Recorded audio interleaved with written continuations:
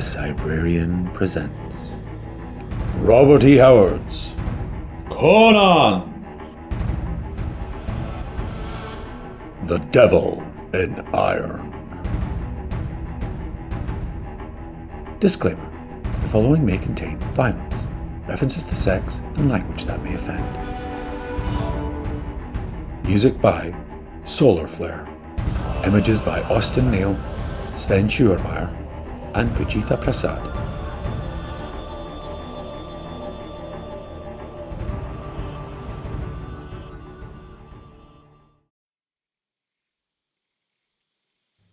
Chapter 1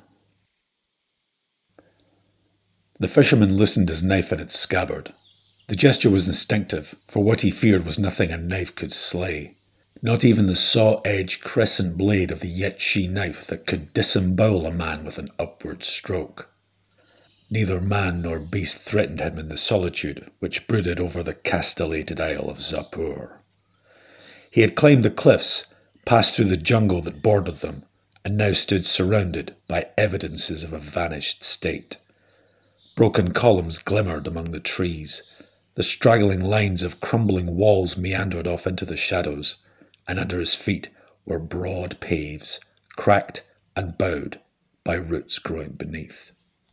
The fisherman was typical of his race, that strange people whose origin is lost in the grey dawn of the past, and who have dwelt in their rude fishing huts along the southern shore of the Sea of Vilayet since time immemorial.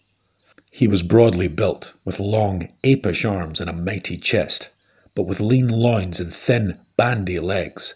His face was broad, his forehead low and retreating, his hair thick and tangled. A belt for a knife and a rag for a loincloth were all he wore in the way of clothing. That he was where he was proved that he was less dully incurious than most of his people. Men seldom visited Xapur. It was uninhabited, all but forgotten, merely one among the myriad isles which dotted the great inland sea. Men called it Xapur, the fortified, because of its ruins, remnants of some prehistoric kingdom lost and forgotten before the conquering Hyborians had ridden southward. None knew who reared those stones, though dim legends lingered among the Yuetshi which half intelligibly suggested a connection of immeasurable antiquity between the fishers and the unknown island kingdom. But it had been a thousand years since any Yuetshi had understood the importance of these tales. They repeated them now as meaningless formula, a gibberish framed to the lips by custom. No Yuetshi had come to Xapur for a century.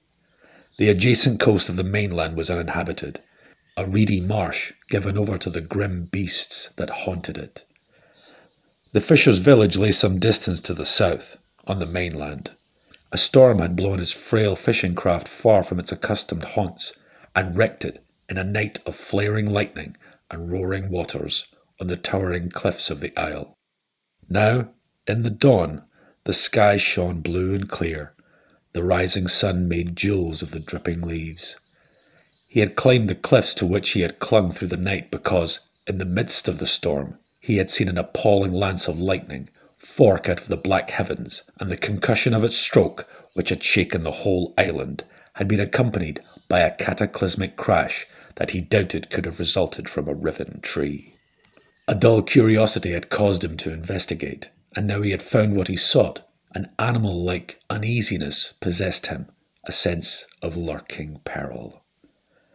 Among the trees reared a broken, dome like structure, built of the gigantic blocks of the peculiar iron like green stone found only on the islands of Vilayet. It seemed incredible that human hands could have shaped and placed them, and certainly it was beyond human power to have overthrown the structure they formed but the thunderbolt had splintered the ton heavy blocks like so much glass, reduced others to green dust, and ripped away the whole arch of the dome. The fisherman climbed over the debris and peered in, and what he saw brought a grunt from him. Huh? Within the ruined dome, surrounded by stone dust and bits of broken masonry, lay a man on a golden block. He was clad in a sort of skirt and a shagreen girdle. His black hair which fell in a square mane to his massive shoulders, was confined about his temple by a narrow gold band. On his bare, muscular breast lay a curious dagger with a jewelled pommel and a shagreen bound hilt and a broad crescent blade. It was much like the knife the fisherman wore at his hip, but it lacked the serrated edge and was made with an infinitely greater skill. The fisherman lusted for the weapon. The man, of course, was dead, and had been dead for many centuries.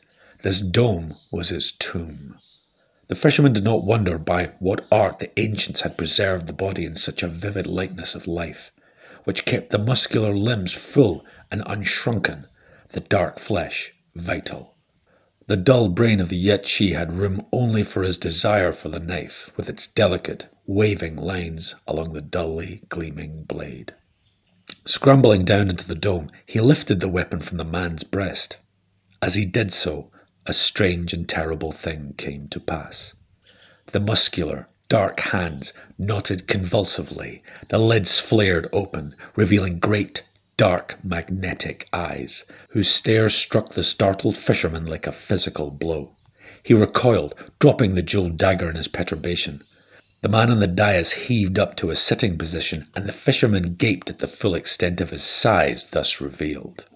His narrowed eyes held the Yuetshi, and in those slitted orbs he read neither friendliness nor gratitude.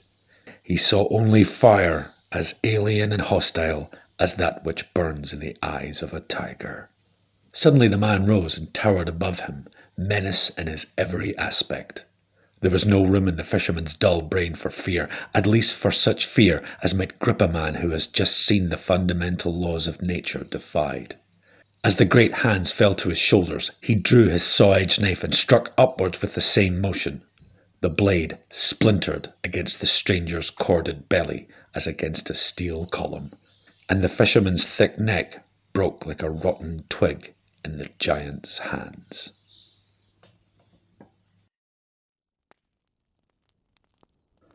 Chapter 2 Jehungir Agha, Lord of Khawarizm and keeper of the coastal border, scanned once more the ornate parchment scroll with its peacock seal and laughed shortly and sardonically. Well, bluntly demanded his counsellor, Ghaznavi. Jehungir shrugged his shoulders.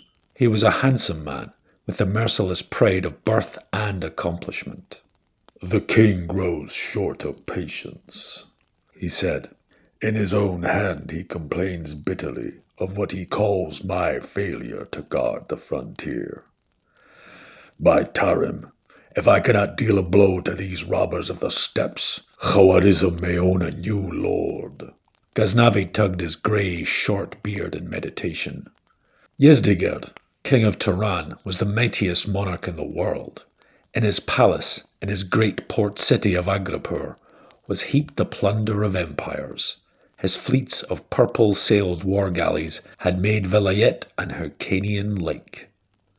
The dark skinned people of Zamora paid him tribute, as did the eastern provinces of Koth. The Shemites bowed to his rule as far west as Shushan. His armies ravaged the borders of Stygia in the south and the snowy lands of the Hyperboreans in the north. His riders bore torch and sword westward to Brythunia and Ophir and Corinthia, even to the borders of Nemedia. His gilt helmeted swordsmen had trampled hosts under their horses' hooves, and walled cities went up in flames at his command. In the glutted slave markets of Aghrapur, Sultanapur, Khawarizm, Shahpur, and Khorusun, women were sold for three small silver coins blond Brythunians, tawny Stygians, dark haired Zamorians, ebon Cushites, olive skinned Shemites. Yet while his swift horsemen overthrew armies far from his frontiers, at his very borders an audacious foe plucked his beard with a red dripping and smoke stained hand. On the broad steppes between the Sea of Vilayet and the borders of the easternmost Hyborian kingdoms, a new race had sprung up in the past half century, formed originally of fleeing criminals, broken men, escaped slaves, and deserting soldiers. They were men of many crimes and countries, some born on the steppes, some fleeing from the kingdoms in the west. They were called Cossack, which means wastrel. Dwelling on the wild, open steppes, owning no law but their own peculiar code, they had become a people capable even of defying the Grand Monarch. Ceaselessly, they raided the Turanian frontier, retiring in the steppes when defeated. With the pirates of Vilayet, men of much the same breed, they harried the coast, preying off the merchant ships which plied between the Hyrkanian ports. How am I to crush these wolves? demanded Jehungir. If I follow them into the steppes, I run the risk either of being cut off and destroyed, or of having them elude me entirely and burn the city in my absence. Of late they have been more daring than ever. That is because of the new chief who has risen among them, answered Ghaznavi. You know whom I mean. Ay, replied Jehungir feelingly. It is that devil Conan. He is even wilder than the Cossacks. Yet he is crafty as a mountain lion. It is more through wild animal instinct than through intelligence, answered Ghaznavi. The other Cossacks are at least descendants of civilized men. He is a barbarian. But to dispose of him would be to deal them a crippling blow. But how? demanded Jehungir. He has repeatedly cut his way out of spots that seem certain death for him. And, instinct or cunning, he has avoided or escaped every trap set for him. For every beast and for every man there is a trap he will not escape, quoth Ghaznavi. When we have parleyed with the Cossacks for the ransom of captives, I have observed this man, Conan. He has a keen relish for women and strong drink. Have your captive Octavia fetched here. Jehungir clapped his hands, and an impressive Cushite eunuch, an image of shining ebony and silken pantaloons, bowed before him and went to do his bidding. Presently he returned, leading by the wrist a tall, handsome girl whose yellow hair, clear eyes, and fair skin identified her as a pure blooded member of her race.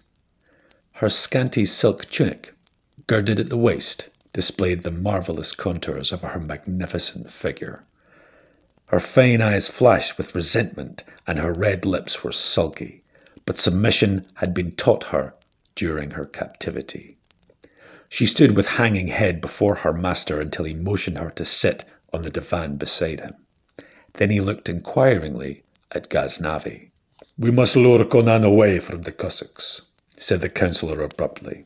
Their war camp is at present pitched somewhere on the lower reaches of Zaporoska River, which, as well you know, is a wilderness of reeds and swampy jungle in which our last expedition was cut to pieces by those masterless devils. I am not likely to forget that, said Jehungir wryly. There is an uninhabited island near the mainland, said Ghaznavi, known as Xapur the Fortified, because of some ancient ruins upon it. There is a particularity about it which makes it perfect for our purposes. It has no shoreline but rises sheer out of the sea in cliffs a hundred and fifty feet tall. Not even an ape could negotiate them. The only place where a man can go up or down is a narrow path on the western side that has the appearance of a worn stair carved into the solid rock of the cliffs. If we could trap Conan on that island alone, we could hunt him down at our leisure, with bows as men hunt a lion. As well wish for the moon, said Jehungir impatiently. So we send him a messenger, bidding him climb the cliffs and await our coming. In effect, yes. Seeing Jehungir's look of amazement, Ghaznavi continued. We will ask for parley with the Cossacks in regard to prisoners at the edge of the steppes by Fort Ghori. As usual, we will go with the force and encamp outside the castle. They will come with an equal force, and the parley will go forward with the usual distrust and suspicion. But this time we will take with us, as if by a casual chance, your beautiful captive. Octavia changed colour and listened with intensified interest as the counsellor nodded towards her. She will use all her wiles to attract Conan's attention. That should not be difficult. To that wild river, she should appear a dazzling vision of loveliness. Her vitality and substantial figure should appear to him more vividly than would one of the doll-like beauties of your seraglio. Octavia sprang up, her white fists clenched, her eyes blazing, and her figure quivering with outraged anger. You would force me to play the troll with this barbarian, she exclaimed. I will not. I am no market blood slut to smirk and ogle at a steppes robber. I am the daughter of a Nemedian lord. You were of the Nemedian nobility before my riders carried you off, returned Jehungir cynically. Now you are merely a slave who will do as she is bid. I will not, she raged. On the contrary, rejoined Jehungir with studied cruelty, you will. I like Ghaznavi's plan. Continue, prince among my counselors. Conan will probably wish to buy her. You will refuse to sell her, of course, or to exchange her for Hyrkanian prisoners. He may then try to steal her or take her by force, though I do not think even he would break the parley truce. Anyway, we must be prepared for whatever he might attempt. Then, shortly after the parley, before he has time to forget all about her, we will send a messenger to him under a flag of truce, accusing him of stealing the girl and demanding her return. He may kill the messenger, but at least he will think that she has escaped. We will then send a spy a Yuetshi fisherman will do, to the Cossack camp who will tell Conan that Octavia is hiding on Xapur. If I know my man, he will go straight to that place. But we do not know that he will go alone, Jehungir argued. Does a man take a band of warriors with him when going to a rendezvous with a woman he desires? retorted Ghaznavi. The chances are all that he will go alone. But we will take care of the other alternative. We will not await him on the island where we might be trapped ourselves, but among the reeds of a marshy point which juts out to within one thousand yards of Xapur. If he brings a large force, we'll beat a retreat and think up another plot. If he comes alone or with a small party, we will have him. Depend upon it, he will come, remembering your charming slave's smiles and meaning glances. I will never descend to such shame. Octavia was wild with fury and humiliation. I will die first. You will not die, my rebellious beauty, said Jehungir, but you will be subjected to a very painful and humiliating experience. He clapped his hands, and Octavia appalled. This time it was not the Cushite who entered, but a Shemite, a heavy muscled man with a short, curled, blue black beard. Here is work for you, Gilzan, said Jehungir. Take this fool and play with her a while. Yet be careful not to spoil her beauty. With an inarticulate grunt, the Shemite seized Octavia's wrist, and at the grasp of his iron fingers, all the defiance went out of her. With a piteous cry, she tore away and threw herself on her knees before her implacable master, sobbing incoherently for mercy. Jehungir dismissed the disappointed torturer with a gesture and said to Ghaznavi, If your plan succeeds, I will fill your lap with gold.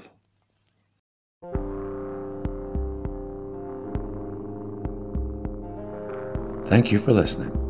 Please like, comment, subscribe, and hit the notification bell.